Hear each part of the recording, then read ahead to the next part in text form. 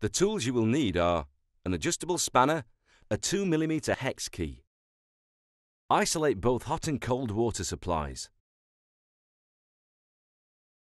Turn the tap on to check that the isolation has been successful and put the plug in to ensure that nothing gets lost.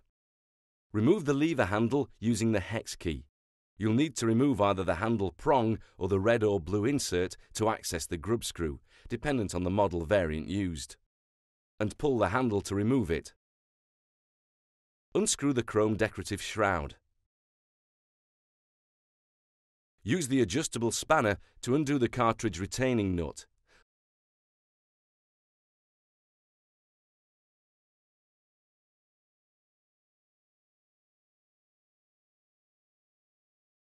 Pull the cartridge to remove it.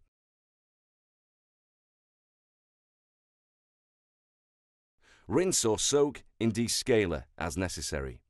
To replace, check the body housing to ensure that no debris is present, flush if necessary. Grease the O-ring and the base of the cartridge using a suitable silicone lubricant. Insert the cartridge into the body, ensuring that the locating lugs on the cartridge line up with the lug holes in the body. Replace the cartridge retaining nut using the adjustable spanner. Screw on the decorative chrome shroud.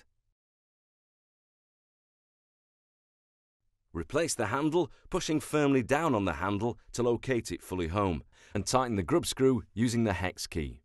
Replace either the prong or the cap. Unisolate both hot and cold water supplies and check for leaks.